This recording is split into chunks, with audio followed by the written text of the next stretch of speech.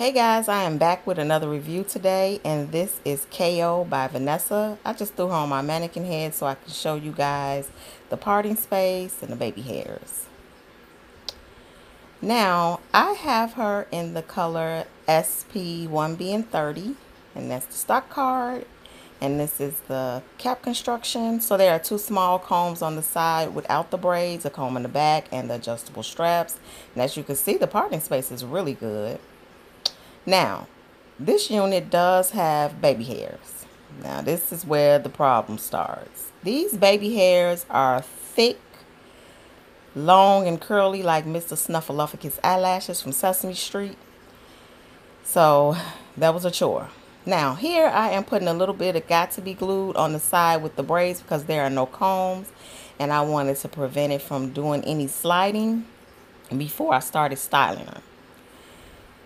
Guys, these baby hair, I combed them, I brushed them, I gelled them, I cut a little bit. I had my menopause fan going and a wind tunnel. I was sweating.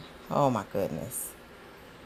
Also, the hair under the braid, it's kind of made to go over your ears. You can kind of see there, and that's a little awkward to me. So I did actually end up cutting a little bit of that so it would go behind my ear and look a little more natural.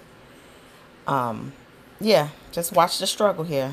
Just on the struggle bus with these baby hairs because I don't know who they thought was going to be able to work with these. But anywho, also the styling of the wig kind of reminds me of one of those retro 80s styles back in the day with the bang because the bang is so short and the density of the wig the style matches. It, it goes good together. But it does remind me of one of those throwback 80s styles that people wore their hair in.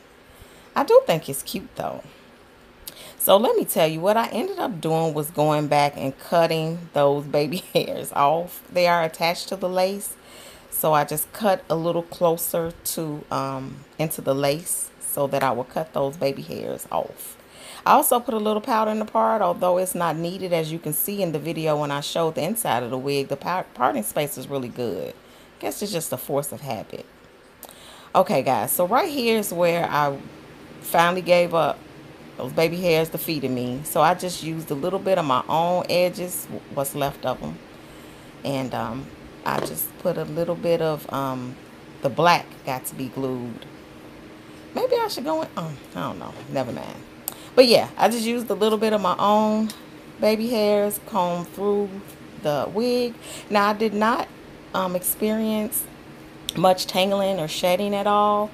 I did get a little bit of shedding when I cut the lace, and it was a little tangling, tangling from me just kind of fighting with the wig a little bit, putting it on. So that was my first time combing through. I got a few little snags, but after that, it was pretty good.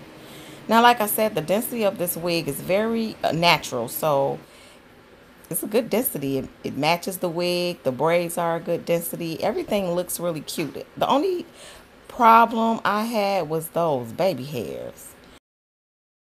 Now, I actually purchased this wig from ebonylines.com, so I will leave all the purchasing info in the description box. Until next time, guys, thank you so much for joining me, and don't forget to subscribe.